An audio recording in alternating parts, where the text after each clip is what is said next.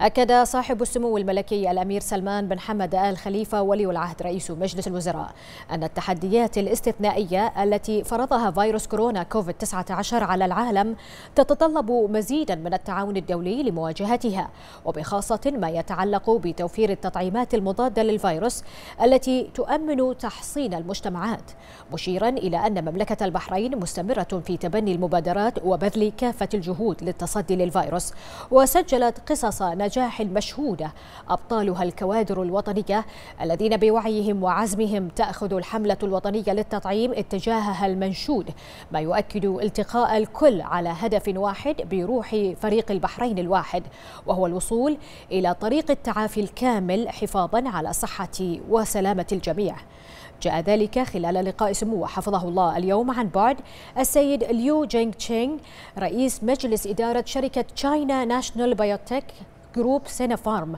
شركة الأدوية الصينية حيث نوه سموه بالتعاون القائم بين مملكة البحرين وشركة سينوفارم في مجال تأمين التطعيم المضاد لفيروس كورونا وما سبقها من تنسيق مشترك لمشاركة أبناء البحرين وتطوعهم للإنسانية في المرحلة الثالثة من التجارب السريرية للتطعيم المضاد للفيروس والتي جاءت بالتعاون مع مجموعة جي 42 الإماراتية والتي تتخذ من أبو ظبي مقرا لها والقائمين على التجربة في دولة الإمارات العربية المتحدة الشقيقة وجمهورية الصين الشعبية الصديقة.